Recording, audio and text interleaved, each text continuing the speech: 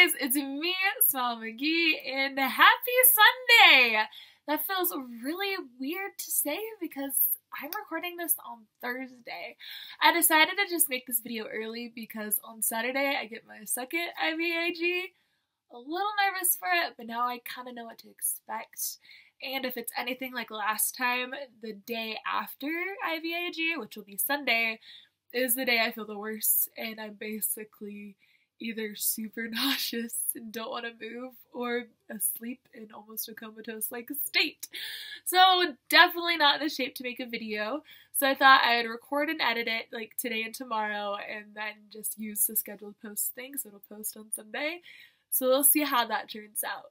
But anyway, this is week three of Come Follow Me Spiritual Sunday Quarantine Edition.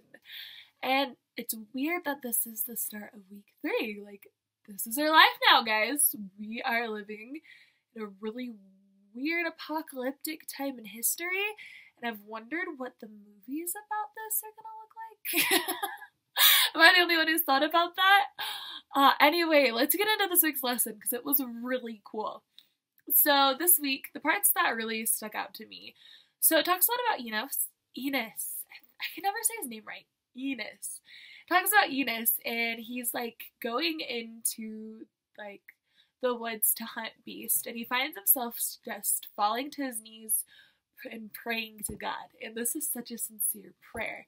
He's like praying for remissions of his sins, praying for his friends, family, and loved ones, praying for his enemies. And the thing I found really cool is that he is praying that his will can align with God's. And I think this whole, like, Enos's whole prayer can just teach us so much about prayer in general. Like, to me, prayer is so much more than just like a laundry list, even though we always find ourselves doing it. You know, the prayers like, Our dear God Heavenly Father, please let us have a good day. Then you're like falling asleep. But prayer is so much more than that. My niece, my little niece is at the age they both are. They're three and four, where they're learning how to pray by themselves. And the four-year-old asked me what prayer is. And I told her that it's basically a Heavenly Father's version of a cell phone. And how cool is that that we have like a direct line to God? That we can talk to Him whenever we want about anything we want, our gratitudes, our struggles, everything. But I think the coolest like part of Enos's prayer is praying for your enemies for one, because I'm really bad at that. And then number two, aligning his will to God's. Cause like I was just thinking a lot about that. Cause right now I think the world is praying a lot more than it has before. We haven't faced this kind of turmoil for a really long time. I can't think I've never been alive where there's something worldwide that's like affecting everyone in the world at once. The last time I could think when the world was kind of so united from a bad thing was during 9 11. And I think now and during 9 11, more people are reaching out to God, more people are reaching, trying to find purpose, and a lot more people are praying. They're praying basically for the world to heal. And I know these prayers. I myself have been praying for the world to heal during these times, and there's been a lot of times in my life you guys would know of where I have prayed for like a miraculous healing for my sick, broken body. And those prayers don't always turn out like you expect.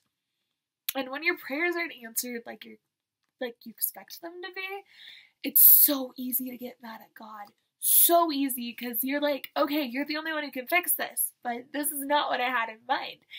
And it's so easy to turn away from him and be angry. But the thing is, like, when we align our will with God's and get to know His, we know His will is right. There's this really cool scripture about that in the lesson this week. Let me hurry and find it. The scripture was Words of Mormon 1 7. And it says, I do this for a wise purpose, for thus it whispereth to me according to the workings of the Spirit of the Lord which is in me. And now I do not know that and now I do not know all things, but the Lord knoweth all things which are to come, wherefore he worketh in me to do according to his will. I thought that was so fitting right now, because like when our prayers aren't answered like we're supposed to, we wonder if God is even there, we wonder about his will, we wonder about his love, but he is such a big picture person. All God is is a big picture person. He can see eternities, He can see everything, and all we have is this moment. But if we work to get to know Him, we'll get to trust Him and know that He does have this big picture. So I have a little challenge for you guys this week. I challenge you to pray. Whether it's the first time you've prayed, like ever, or the first time you prayed in a really long time, or if you've said the millionth prayer, like of the day today, this week, just make sure you say a specific prayer and get to know your Heavenly Father better. I promise you, you won't regret it. I am so grateful for prayer in my life. I I pray all the time. I am one who can get mad at God very easily, which is really awful of me. But I believe that like Al Carraway said something I really loved. She's like, the times you don't feel like praying and you want to just scream at God, those are the times you need to pray. And if you need to scream at God during your prayer, scream at Him. He wants to know your anger, He wants to get to know you. The most important thing is that you are talking to Him. And I, that kind of changed my life.